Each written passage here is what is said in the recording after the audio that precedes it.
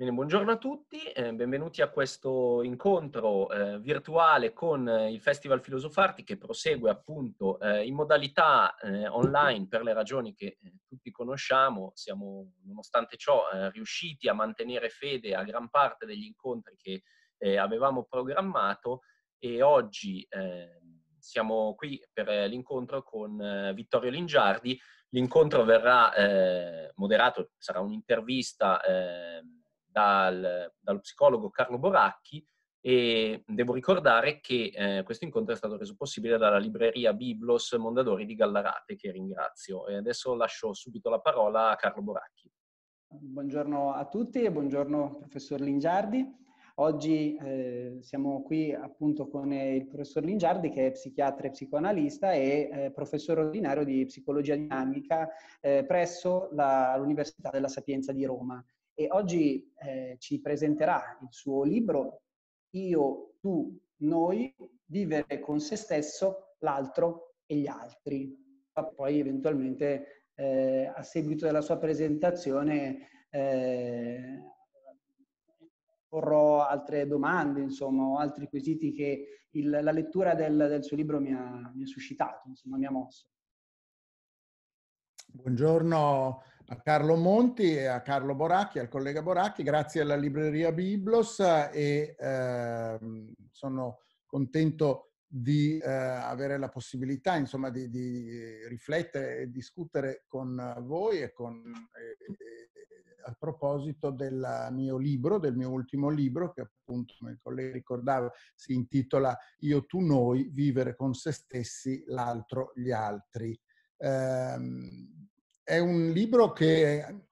ha una, ha, una, ha una, sua vita strana perché è stato scritto in, uh, a seguito dei, dei festival, dei, del, del, Festival dell'Antropologia di Pistoia e Dialoghi sull'Uomo organizzati da Giulia Cogoli eh, nel corso quindi dell'estate scorsa. È uscito uh, a settembre dell'anno scorso, ma uh,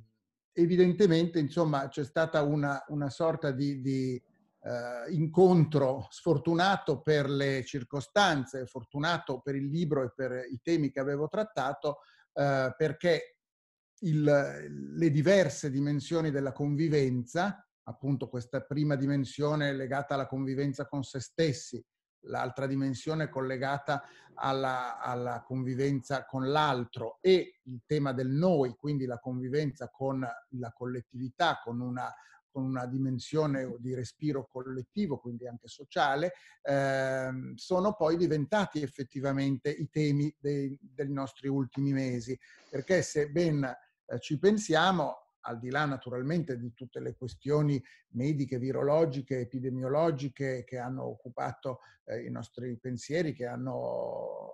diciamo, che ci hanno tenuto informati e sospesi nel, nello spavento, nella preoccupazione e ora finalmente insomma nella, in una certa eh, rincuorata ripresa. Eh, il tema però del cosa fare di noi, cosa fare dell'altro, il, il, l'altro della convivenza e quindi parlare di convivenza in un tema, in un periodo in cui le convivenze sono state al centro delle nostre vite, soprattutto appunto per chi eh, nella, nella, dimensione della quarantena, nella dimensione del lockdown ha dovuto fare i conti con, nel bene e nel male, con le persone che abitano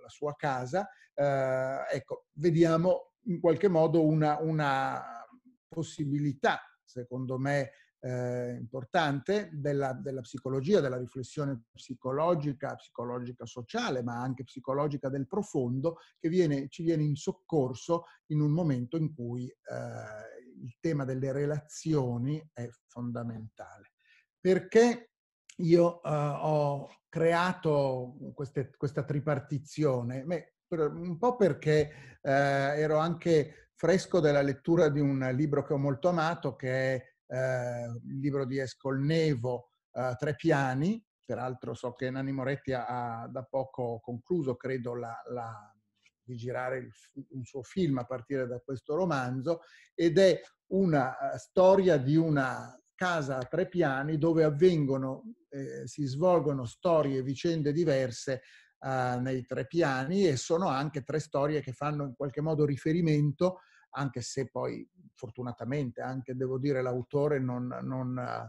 eh, non, non, approfondisce in modo particolarmente ossessivo questa tripartizione, fanno riferimento alla, all'antica idea freudiana della tripartizione della psiche individuale in termini di es, io e superio. Ma eh, oltre a questa, diciamo, questo, questo spunto della, della, molteplicità della convivenza interiore, un'altra, uh, un'altra frase che ha spesso risuonato nei miei pensieri e che amo molto, a cui sono legata, legato, è una frase che viene dal filosofo Montaigne che diceva io loderei un'anima a diversi piani. Quindi un, uno spunto estremamente suggestivo da parte di uno dei più grandi filosofi a considerare la nostra complessità, la nostra molteplicità, la nostra stratificazione e a questo aggiungerei un'altra, diciamo così, eh, tema guida che era in qualche modo già presente nel libro mio che si intitolava Mindscapes, Psiche nel paesaggio, è un libro che ho fatto con Cortina nel 2017, che dice, una, è un'osservazione di un collega francese, Pontalis, che dice bisogna avere molti luoghi dentro di sé per avere qualche speranza di essere se stessi. Quindi, come avrete capito anche da questi spunti, da queste ispirazioni, il, il mio libro parte da un'idea che è che la prima convivenza, anche se tutti noi quando parliamo di convivenza pensiamo immediatamente alla coppia, pensiamo immediatamente alla società, ecco invece io ribaltando un po' il percorso ho pensato per prima cosa a noi stessi, perché ogni giorno ci imbattiamo in noi stessi, ogni giorno facciamo i conti con il piacerci, il non piacerci, l'approvarci, il disapprovarci, scopriamo di volere anche cose diverse, che spesso sono cose incompatibili, vogliamo l'avventura e la sicurezza, vogliamo la solitudine e la compagnia, vogliamo la fermezza ma anche il patteggiamento, vogliamo parlare con gli altri ma amiamo anche il silenzio. Queste apparenti, diciamo così, contraddizioni in realtà sono il, il, lo specifico della nostra complessità è morto purtroppo di due giorni fa, tre giorni fa, un grande psicoanalista americano, aveva 89 anni, si chiama Philip Bromberg. Philip Bromberg è famoso anche per aver scritto un libro che si intitola Standing in the Spaces, che vuol dire rimanere, stare tra gli spazi, e con questo titolo ci illustra in modo molto efficace come la nostra tenuta psichica, la nostra, eh, anche la nostra solidità psichica e la nostra anche varietà psicologica è legata assolutamente alla capacità di saper vivere una, nella dimensione interiore che non è mai un blocco unico, ma è un, un arcipelago di sé, una, un, incolle, collegate tra loro da ponti, da, da, da, da percorsi che mettono insieme eh, le nostre varie parti fino a darci l'illusione di avere un sé unico e coeso, ben sapendo che è un sé che anche la letteratura psicoanalitica molti, per molti aspetti mh, scrive con la lettera maiuscola, ma in realtà quella maiuscola è formata dall'insieme di una serie di lettere minuscole che sono i piccoli sé. Tornando alla, alla nostra attualità, la situazione che abbiamo vissuto, che abbiamo attraversato, ci ha costretto a fare i conti con anche istanze eh, differenti e contrastanti al nostro interno. Per esempio, le parti più spaventate e quindi più portate a ritirarsi e a, e a proteggersi, nell'occasione per esempio di una minaccia oggettiva pandemica come è stato eh, l'epidemia del coronavirus, altre parti di noi che invece magari con modalità più onnipotenti, magari con aspetti anche di negazione, soprattutto all'inizio erano state a minimizzare lo spavento e a reagire con delle modalità che non erano propriamente protettive. Quindi io quando all'inizio di marzo ho iniziato anche a riflettere, scrivere su questi temi, avevo un po' come individuato una, una tensione interna a ciascuno di noi che potremmo eh, sinteticamente descrivere come una tensione alla claustrofilia da una parte, quindi al senso della, della quarantena come protezione, anche come allontanamento sano dal pericolo che era all'esterno e la invece claustrofobia come grande sofferenza di questa costrizione allo spazio chiuso, costrizione alla convivenza prima di tutto con noi stessi e quindi le difficoltà e le tensioni, passaggio da una vita che eravamo abituati a, per, a, trascorrere tutta fuori a una vita che improvvisamente è diventata un, tutta dentro. In questo senso abbiamo riscoperto anche dal punto di vista eh, simbolico direi, il valore della finestra, della finestra come spazio trasparente che al tempo stesso ci protegge. Rilke scrive una bellissima poesia, un ciclo di poesie dedicato alle finestre uno dei versi di Rilke è finché incomici l'esterno troppo forte. Quindi chiaramente questa dimensione di protezione trasparente rispetto a quello che avveniva fuori dovevamo continuare a vedere, a monitorare, a osservare e quello che avviene dentro, cioè quello che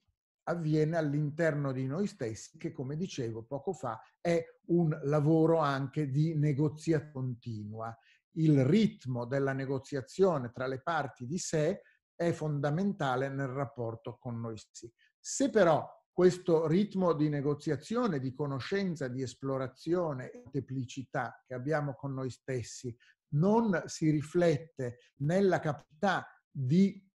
negoziare il ritmo della relazione con l'altro, tutto questo lavoro che facciamo con noi stessi è sicuramente utile, non è messo a frutto dalla ricchezza relazionale che è poi il senso anche eh, per certi aspetti primario delle nostre relazioni. Ci siamo trovati a dover passare dal sistema dell'io al sistema del tu attraverso delle situazioni come paradossali, perché il sistema del tu è un sistema centrato sulla relazione, anche sul contatto fisico, sull'incontro, sulla fiducia, sull'attesa della presenza dell'altro. Eh, lo conosciamo chi si occupa di infant research, chi si occupa di teoria dell'attaccamento eh, tra il bambino e la persona che gli fornisce le cure, sa che la, la, l'attaccamento, la spinta alla protezione, alla reciprocità, quello che oggi in psicologia chiamiamo l'intersoggettività, è uno dei motori portanti della vita e delle relazioni. Ecco,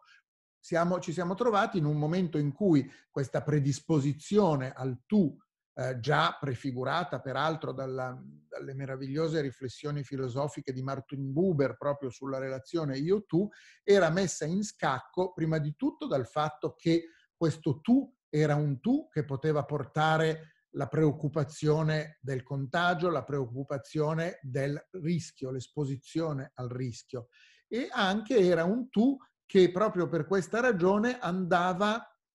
eh, non accostato con il principio dell'incontro, ma con il principio della protezione. Ci sono oggetti, come dicevo prima, la finestra nel sancire il, il senso interno-esterno che ha dominato questi nostri mesi, ma anche la mascherina protettiva che simbolicamente rappresentano anche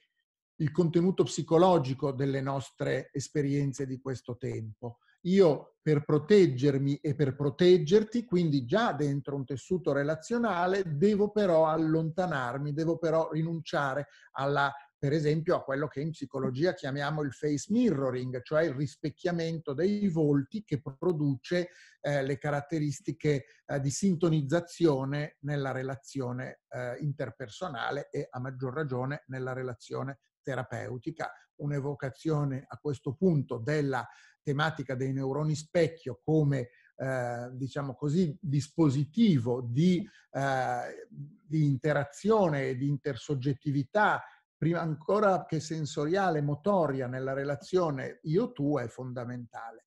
Come psicologi e come psicoterapeuti ci siamo trovati in questo secondo territorio, dall'io al tu, a vivere un'altra condizione piuttosto particolare, che è la condizione delle terapie, delle psicoterapie per esempio, eh,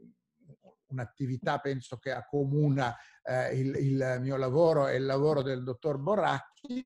che da, uh, da relazioni, come diceva Luciana Annissima Momigliano, due persone che parlano in una stanza, una bellissima eh, definizione di quella che è la relazione terapeutica, siamo diventati due persone che parlano attraverso uno schermo da due stanze diverse. Questo nella vita di chi fa il nostro mestiere ha avuto un impatto molto importante, ma anche nella vita di chi eh, crede fondamentalmente la comunicazione nella condivisione, per cui anche in questo momento stiamo parlandoci, ma ciascuno nella propria stanza. Non c'è più il corpo dell'altro, c'è l'immagine dell'altro, ma non c'è il corpo dell'altro. Eh, questo ha insegnato moltissime cose, intanto che la forza della relazione, che sia psicoterapeutica o che sia la comunicazione, lo scambio culturale, è ancora più forte della nostra necessità di viverla in presenza, per cui abbiamo fatto in senso molto virtuoso proprio di necessità virtù, scoprendo dentro questa dimensione di, eh, di presenza-assenza attraverso lo schermo che tanti aspetti, tanti elementi anche del setting tra paziente e terapeuta, ma anche la relazione sono prima di tutto nel nostro stato mentale, sono lì che si preparano e si predispongono e nelle situazioni emergenziali, nelle situazioni particolari possono adattarsi e ricostruirsi nella loro virtuosità anche attraverso delle soluzioni che certamente non sono quelle che immediatamente preferiamo. Credo che tutti abbiamo voglia e bisogno di tornare non soltanto alle terapie eh, vis-à-vis in presenza, ma anche alle conferenze, alle presentazioni di libri eh, in presenza, cioè il corpo individuale e il corpo sociale è importante che stiano uniti, però è anche interessante e importante dire che siamo riusciti, grazie anche alle tecnologie che magari in molti momenti abbiamo criticato severamente per la loro eh, possibilità di veicolare per esempio il discorso dell'odio, l'hate speech e tutto diciamo, il cyberbullismo e tutte le condizioni di comunicazione distorta online, ecco invece in questo caso sono molto riconoscente alla possibilità che abbiamo avuto di proseguire i nostri contatti le nostre relazioni attraverso lo schermo, non solo come terapeuti, non solo come eh, presentatori di libri e organizzatori di convegni e di, e di, conferenze, ma anche nelle relazioni interpersonali tra amici, tra parenti, il tessuto vivo della relazione, questa continua necessità di negoziazione, aggiornamento, condivisione è potuto andare avanti anche attraverso il, diciamo, le, le, chiamate, le, le, gli Skype, gli Zoom tra amici, tra familiari. Questo ci deve anche spingere a riflettere sul significato nel sistema del tu delle nostre convivenze domestiche. Quando parlo un po' di quello che è successo, adesso come avrete capito, anziché fare diciamo, una presentazione canonica del mio libro scritto in periodo pre-Covid, mi interessa di più attualizzarlo alla luce di quello anche che è accaduto perché, come dicevo prima, insomma, per una fatalità c'è una forte corrispondenza tra le, quello che era scritto e un po' quello che è successo. Ecco,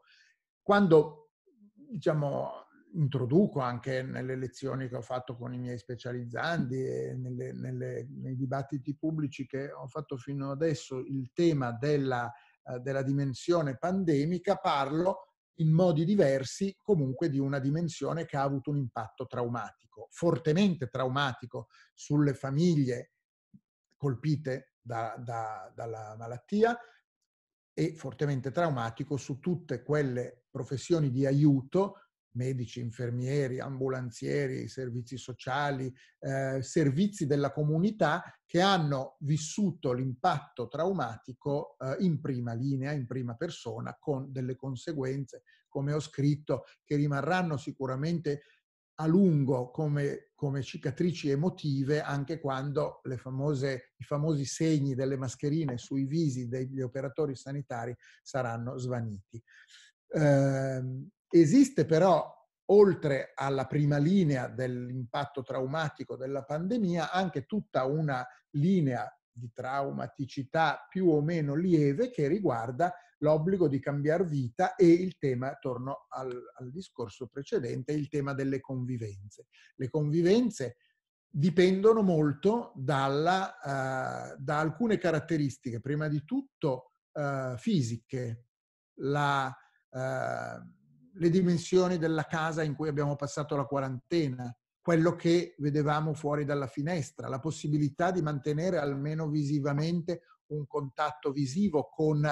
del, del, anche fosse solo un albero, un elemento comunque che ci restituiva a un mindscape eh, di, di, continuità e di crescita. Quindi anche la differenza psicologica delle, delle, quarantene in contesti rurali piuttosto che in contesti urbani e anche dal punto di vista geografico. Nelle regioni del nord più colpite sicuramente sono state esperienze più angoscianti di quarantena, più minacciate di quanto non è successo invece in altre regioni fortunatamente meno toccate dalla pandemia in Italia. E quindi questo ci, mi spinge a pensare che anche il fattore eh, economico e il fattore sociale, quindi il luogo dove le persone hanno vissuto e il comfort con cui le persone hanno vissuto ha un significato molto profondo nel farci riflettere sulla maggiore o, minore traumaticità di queste esperienze. Tant'è vero che per moltissime persone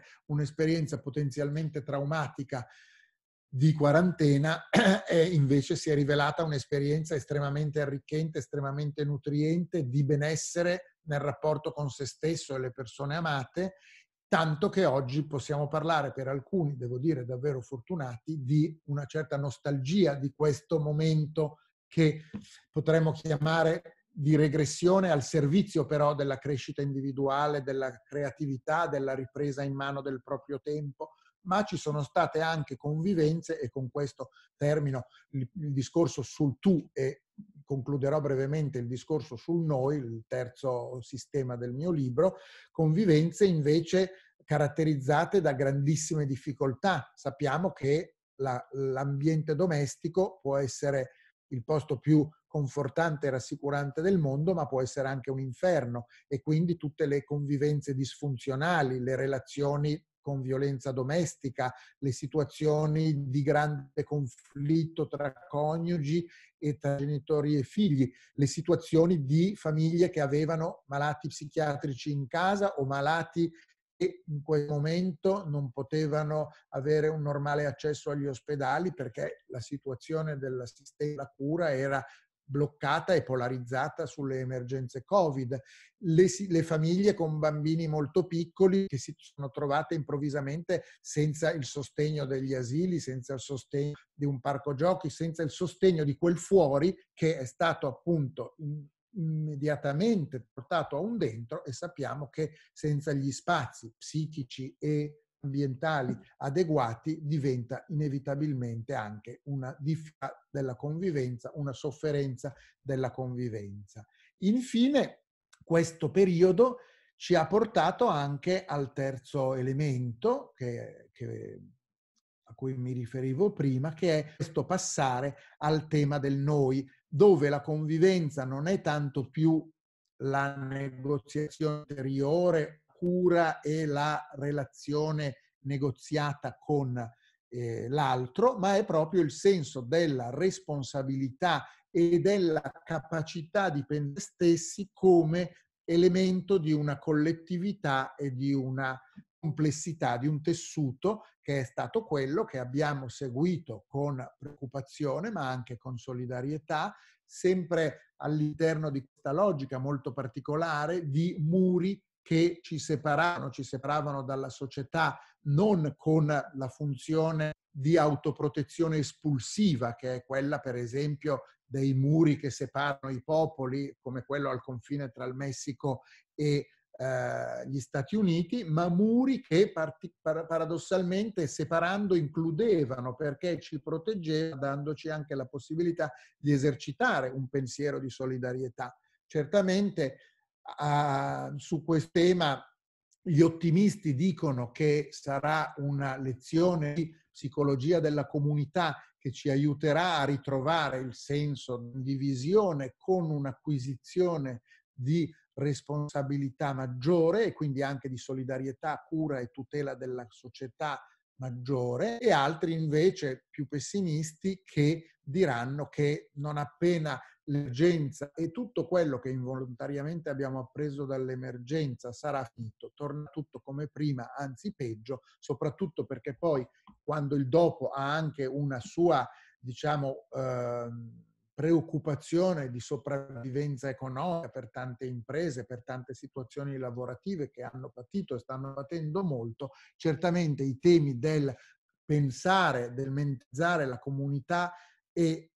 la possibilità di aiuto e di rispecchiamento reciproco verranno meno. Anche questo trovo che sia un tema che deve passare attraverso la negoziazione individuale e non le polarizzazioni, cioè dovremo essere bravi a tornare alla, alla vita, tornare all'attività sapendo tenere insieme anche qua, diciamo, il tutto tornerà come prima, ma anche il tutto non deve tornare come prima perché, come qualcuno ha detto, il problema era prima. Mi piace concludere diciamo, queste parole sulla eh, convivenza della comunità eh, riportando al forte legame che sempre tra la psicologia dell'individuo, la psicologia della relazione e la psicologia della comunità, al punto tale che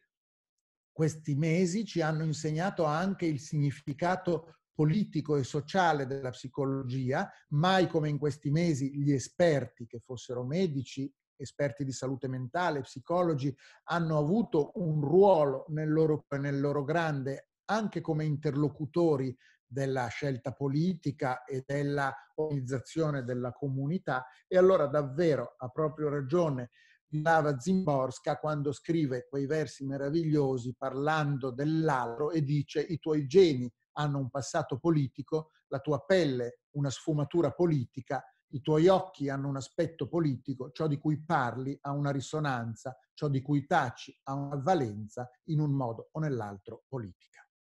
Grazie.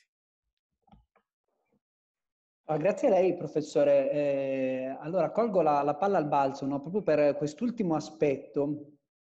di cui stava parlando, perché è uno di quelli che mi ha colpito di più. Allora, io avrei due, eh, due domande, insomma, un po' due sollecitazioni che sorte. Una diciamo così, è, è stata generata dal quadro. Una è una, dire, una domanda relativa al quadro e l'altro è relativo alla cornice, insomma, che invece abbiamo qui oggi. Parto appunto da quella relativa al quadro, no? cioè appunto il suo, il suo libro, perché sono stato colpito e le confesso anche un po' spiazzato no? dal passaggio esplicito che fa dal clinico al politico. Okay? Eh, perché non si limita a fare un'analisi diciamo così, di psicologia sociale, no? prende proprio anche una posizione nel merito eh, di, di, alcuni interventi, di alcune scelte dal punto di vista ehm, governativo. È vero che quest'ultima parte, insomma quest'ultimo periodo, ci ha posto di fronte al, al ruolo no? che la psicologia deve necessariamente avere. Parliamo di eh, uomini, in quanto psicologi, che sono stati definiti gli animali politici, no? in qualche modo. Quindi in qualche modo la connessione è chiamata. Però dall'altra parte viene eh, anche da porci l'interrogativo quali sono le condizioni con cui la clinica e la politica possono dialogare, quali sono i rischi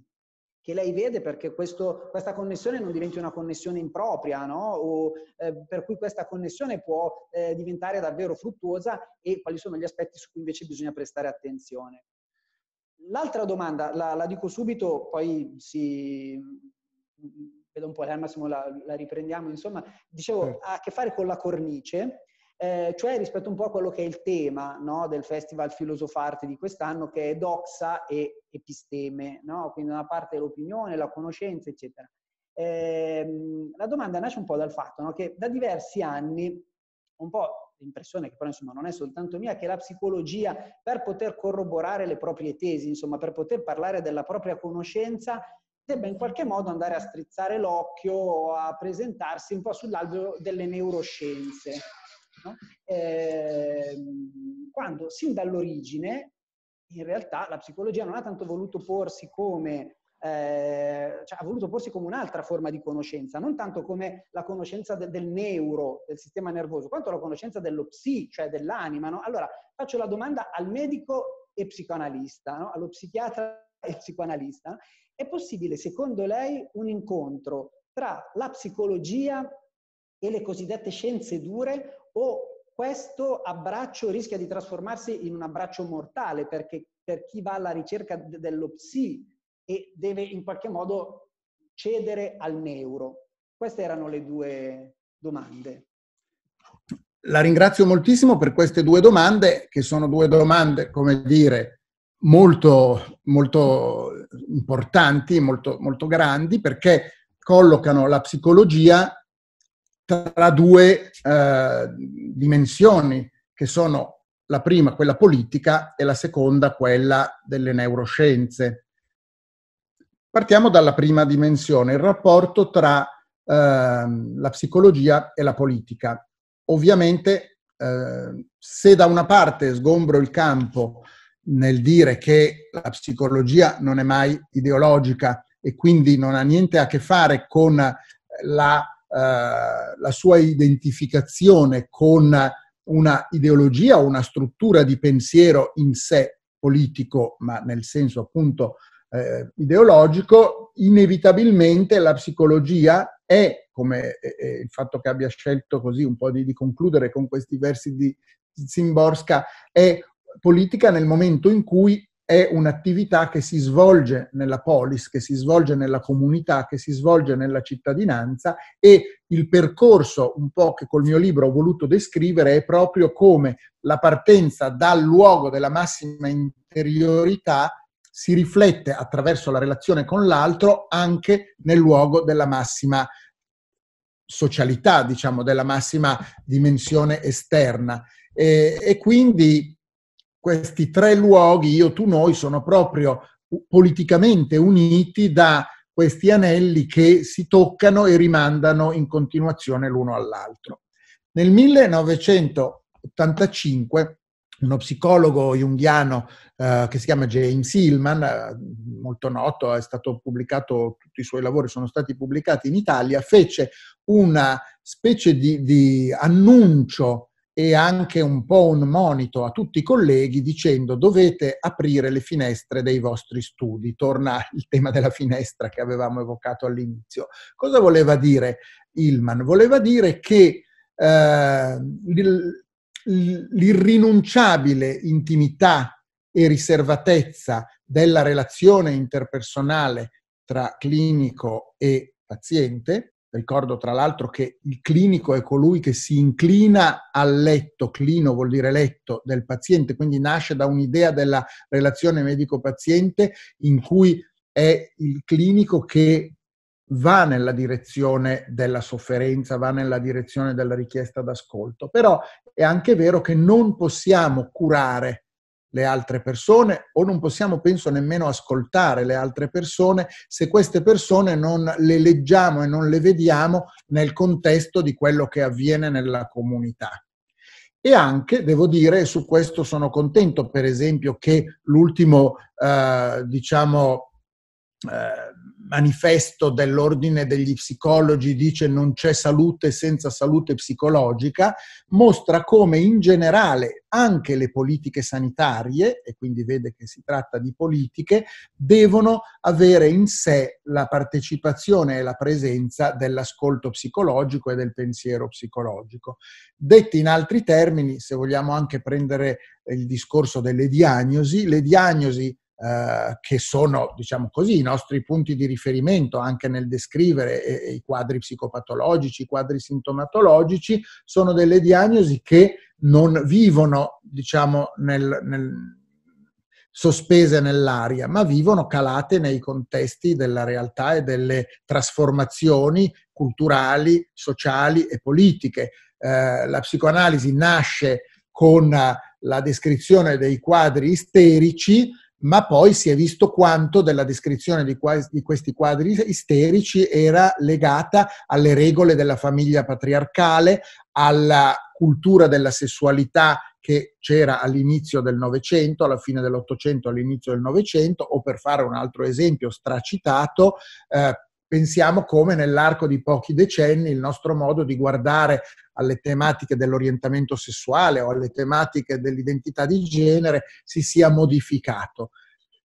Noi non dobbiamo come psicologi occuparci della politica e nemmeno della legislazione, però non possiamo fare a meno di sapere e di, e di comprendere fino in fondo che il nostro paziente, il testo del nostro ascolto è sempre in relazione alle trasformazioni e ai cambiamenti sociali e quello che sta succedendo in questo momento dal punto di vista sociale e sanitario è estremamente istruttivo perché poi le sedute di questi ultimi mesi certamente hanno avuto una parte che è legata sicuramente ed è irremovibile alla,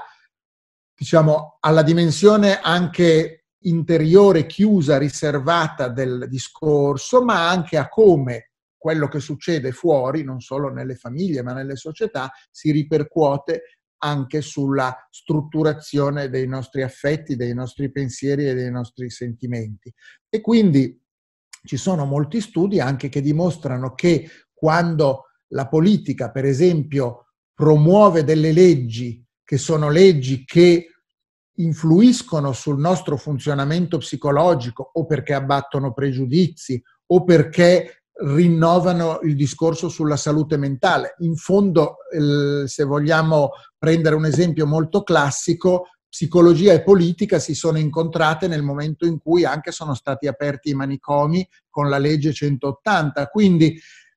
e questo discorso tra poco lo traghetterò ovviamente con tutte le differenze del caso anche alle neuroscienze, la, la mia posizione è che ogni disciplina ha una sua specificità, ma è un grandissimo limite ed è una grande perdita se questa specificità non va a nutrire, a incontrarsi, a dialogare con le specificità delle altre discipline. In senso nobile, io considero che la politica è una disciplina che richiede peraltro competenza, istruzione e eh, diciamo una, una, una, struttura di pensiero che sicuramente può essere arricchito dal dialogo con la psicologia. Quindi sia a livello del lavoro con il singolo paziente, sia a livello della formulazione delle leggi, che sono poi anche il, uno dei grandi luoghi in cui la politica esprime la, il suo ruolo.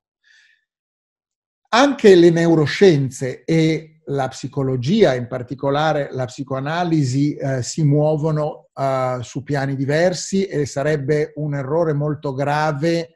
eh, procedere sulla strada di ehm, una confusione dei confini, le intenzioni e anche i punti, ehm, diciamo, i punti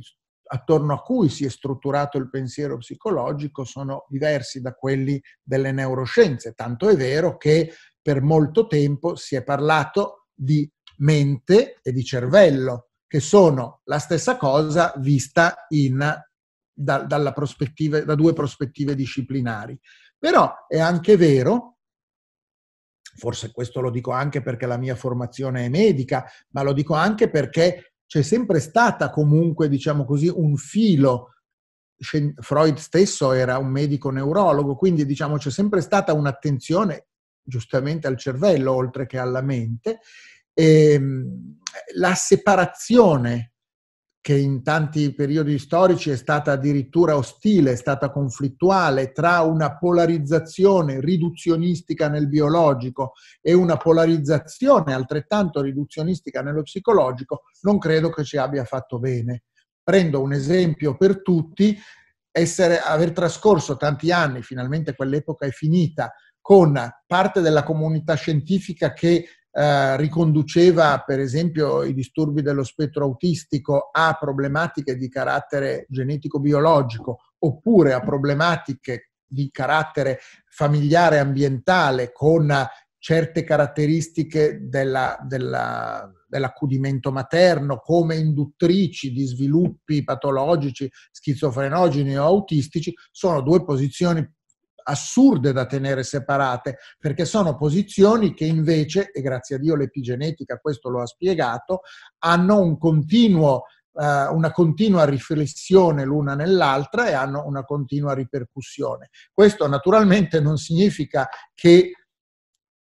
il, il paziente che si sdraia sul lettino dello psicoanalista lo dobbiamo guardare come, stesse, come, se si stesse sdraiando sul lettino per fare una risonanza magnetica eh, all'encefalo. Però credo che così come le neuroscienze e abbiamo grandissimi rappresentanti, abbiamo Eric Kandel, il premio Nobel, abbiamo eh, Joseph Ledoux che ha studiato i circuiti neurali dell'ansia e della paura e senza andare all'estero abbiamo il bravissimo Vittorio Gallese e Rizzolati che hanno mostrato anche le ripercussioni sulla disciplina della relazione terapeutica e della psicologia di una scoperta che è assolutamente di carattere neurologico, appunto quello delle accensioni dei neuroni specchio. Ecco, quindi credo che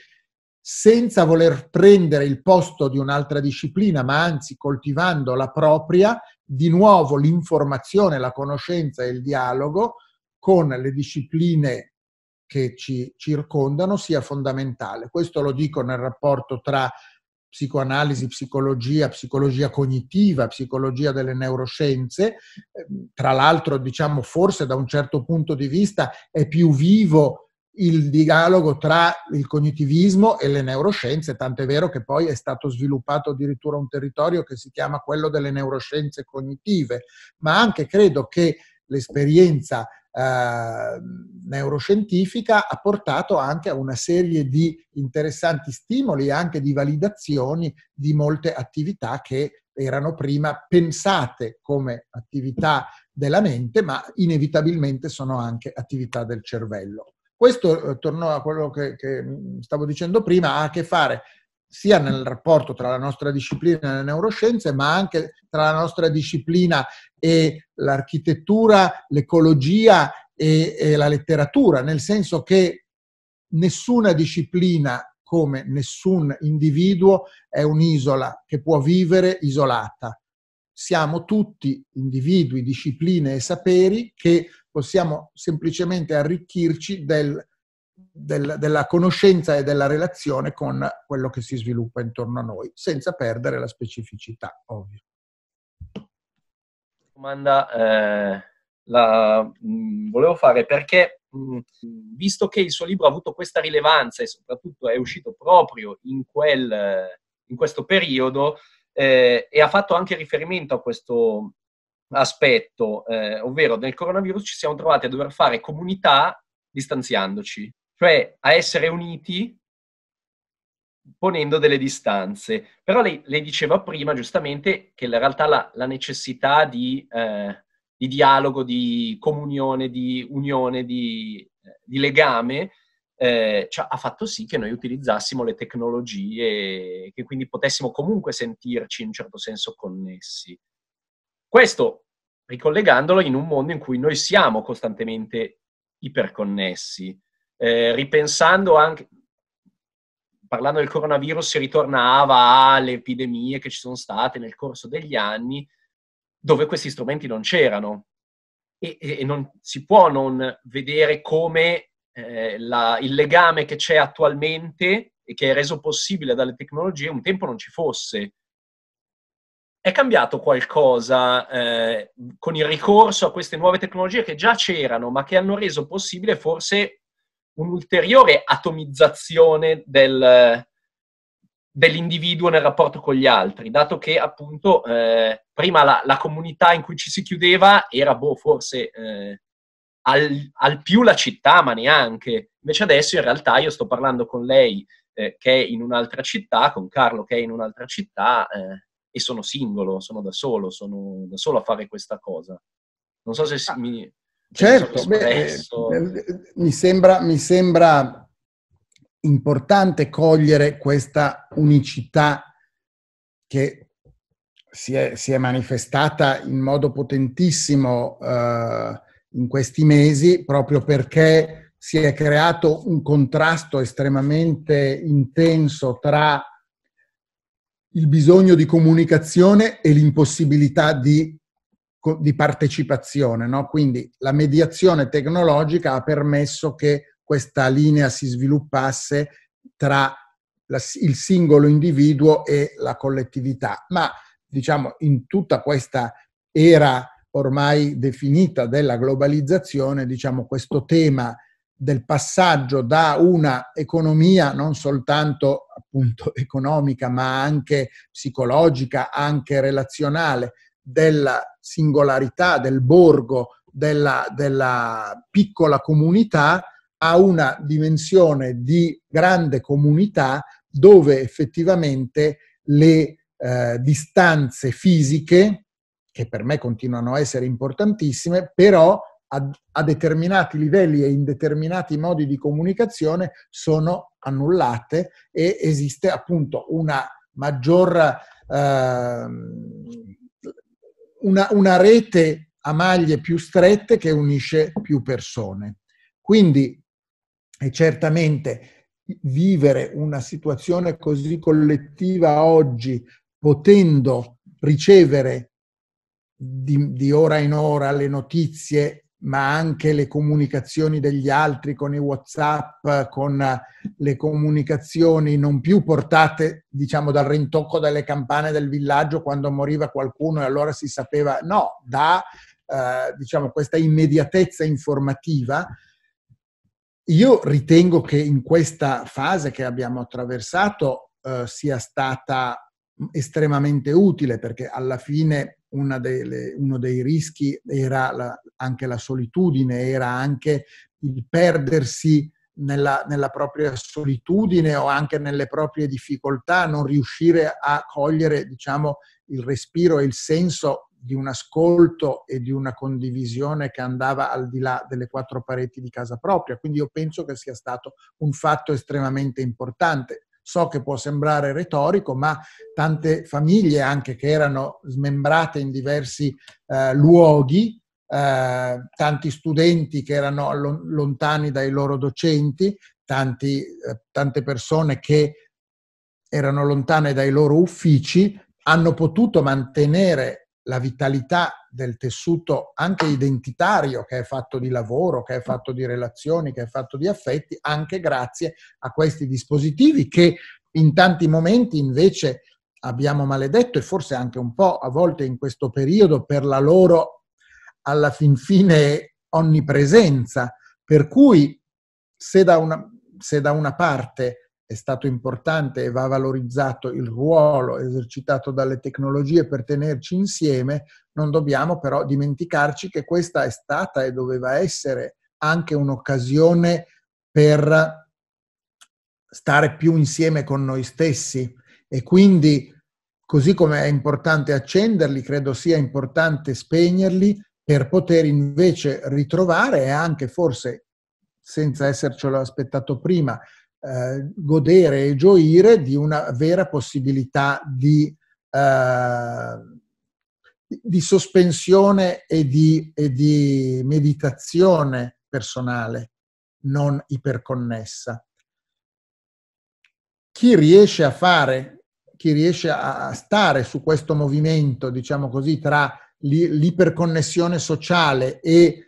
la solitudine meditativa e chi ha saputo organizzare anche la propria vita su questo doppio registro in una, torniamo al sistema della negoziazione interiore, in una buona capacità di movimento, di standing in, tra gli spazi, tra queste due polarizzazioni, sicuramente esce anche paradossalmente arricchito da questa situazione, sempre che non abbia dovuto confrontarsi con la dimensione traumatica che è quella poi che invece rompe lo schema perché è imprevista e soverchiante e quindi interrompe questi tessuti delicati costruiti di giorno in giorno di comunicazione e anche di, eh, di comunicazione interiore, dico, e anche di organizzazione delle parti di sé. Se posso aggiungere un'ultima cosa, visto che mi è capitato in questi mesi di eh, di lavorare anche su dei materiali onirici, di raccogliere dei testi onirici e di ascoltare eh,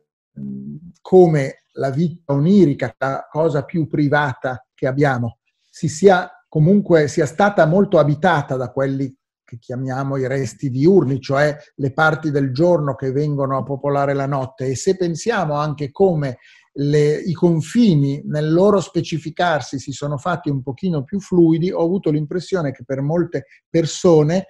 la vita, diciamo, del, del sogno e la vita della veglia sono state anch'esse più in relazione e hanno consentito quel tipo di eh, importante, nutriente stare con se stessi che a volte è effettivamente messo sotto minaccia da questa spinta umana inevitabile a stare anche sempre con gli altri e con eh, queste connessioni.